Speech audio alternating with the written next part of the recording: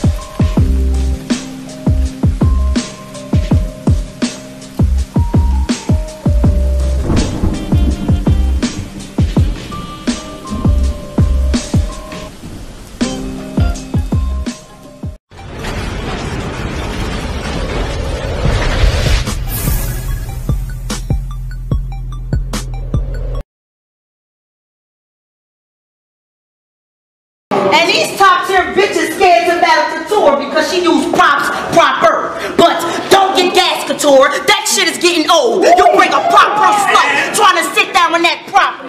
Hush, if I bring something to show and tell, it's holding shells. That'll be the only prop her. Trust, it'll leave her in the hospital to see the TV. The doctor's gonna have to prop her up. Alright boys and girls, this week's battle rap biography features Louisiana's own O'fficial. Let's get right into it. Wait a minute, wait a minute.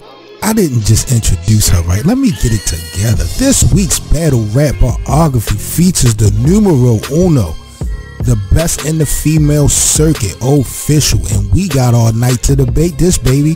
Let's get right into it now. With an estimated 22 battles on her repertoire, O'fficial has by far surpassed many in the rankings with the best punching style I think I've ever seen coming from the female circuit jumpstarting her career over five years ago on various platforms like Texas Battle League, Spit That Heat, and Got Bars TV.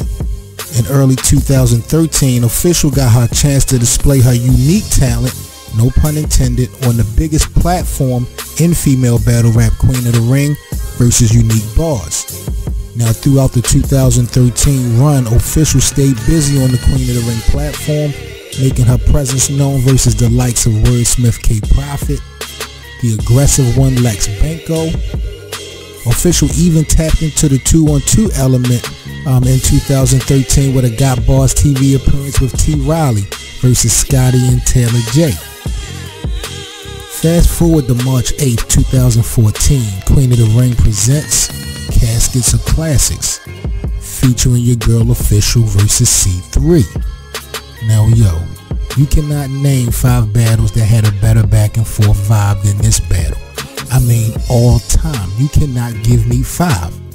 This bar fest was so debatable and talked about on social media. I mean it doesn't make any sense. This was a timeless classic. You gotta watch C3 versus O'fficial. Now that we hit the summertime, summer 2014, Queen of the Ring is back again, but this time with their own summer madness. NHB, No Holds Barred. June 28th, how could you ever forget?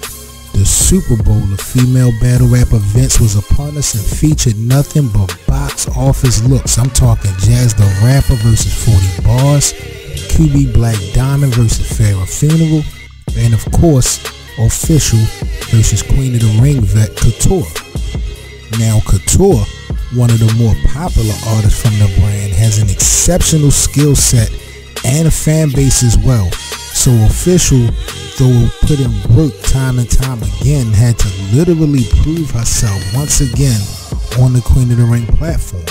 I'll put them rocks out galore. Don't fuck around, cause I'll pop off for sure. And I'll get this fake bag when I knock off Couture. Now also before this year was out, O'fficial locked in with Hemi on the New Orleans Battle League and also made a double appearance in 2014 on Queen's Flip Quiet Run platform versus Miss Miami and also what I say is her most underrated battle in her career, the little battle versus Daylight. I'm not even going to hold y'all. I thought she did Daylight pretty dirty for the sample size that we got. It's a pretty good battle. I thought that O'fficial had a tough run in 2014. Now as we get into 2015, the URL is somewhat getting more into the mix of the ladies featuring some dope matchups throughout the years that for whatever reason were not set up on the usual female platform. Outside of the Snoop Dogg's Gladiator School appearance versus E Hart, it was quite apparent that the skill set of O'fficial had to branch out to different places to be seen by different faces. So here we are, May 9th, 2015. The URL presents NOME 5. Now back in 2014, Jaz the Rapper shocked the world with a dominant performance against Top Girl 40 Barrs. The impact from that battle for Jaz and the momentum that O'fficial was building over time led the two girls to a crash collision on the world's most respected. That night, I'm sorry, NOME 5, a star was born. The same overwhelming, dominating presence that Jaz had for 40 just a year prior O'fficial had all of that shit and then some for Jaz. I mean, you got the crowd screaming 3-0 and leave her alone. I mean, what can I say? Watch the game tapes. This was the best O'fficial I think I've ever seen. Now, September 2015, the demand for O'fficial to the return of the URL was in rare form. But versus who, I mean?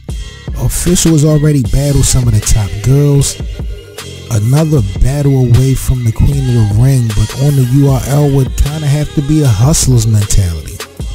The URL presents Summer Madness 5 featuring female superstar battle rap artist Miss Hustle versus O'fficial. Now Miss Hustle was considered not only URL's first lady and arguably the GOAT of Queen of the Ring, she was just all flat out dope. Like no denying when Hustle got in there on that stage or in the ring, just dominant performances back to back to back. This is how she gave it up. Now, one of the more challenging battles for O'fficial um, as I look at her resume, but she did still do exceptionally well versus Hustle. So shout out to Miss Hustle and big up to O'fficial for that dope battle. Now that 2016 rolls around and the strategy for O'fficial seems to be the priority. With already having built one of the most credible resumes in female battle rap, it was apparent that now more than ever, O'fficial would have to take each battle wisely and in a timely manner. Every moment counts at this point, and if you miss a beat, the band may pass you by. I'ma sum up this year 2016 with simply one word for O'fficial. Legendary. You talking guerrilla warfare versus Lady Luck? RBE versus QB Black Diamond? Whoa and the King of the Dot versus Disaster. Did you hear me? I said Lady Luck, QB, and Disaster. One year. Let's cut this shit, y'all. Let's cut this shit. No one has done it or is doing it like this girl O'fficial. So as we embark here on 2017, O'fficial is still in her bag, making power moves and progressing as always she locked in earlier with veteran Tori Doe back on Queen of the Ring and she made her Queen of the Ring return. And as of late, fellow Southern spitter Miss Murk from out Memphis on the new Superior Entertainment Arena platform. So the girl O to me is holding the crown and you know just remaining active doing her thing so battle rap community it's time to put the biography of O'fficial all together in its proper perspective because i'm well aware that it's still in all actuality we still got a lot of work to do, baby. We got some names out here. We got 40 Barrs. Bonnie fucking Godiva. Even Shuni the rap, I would like to see that battle go down. Is that, you know, it's still some noise to be made. What makes the best sense to y'all for O'fficial? And is O'fficial the best female puncher of all time? Where we ranking her right now when it comes to the bars? Y'all let me know. But a major shout out to Louisiana Zone and those O'fficial man, the top girl and the queen of the ring if you ask me. This is the biography of O'fficial. Big up to her.